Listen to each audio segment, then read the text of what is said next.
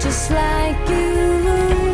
For how long, for how long must I wait? I know there's something wrong.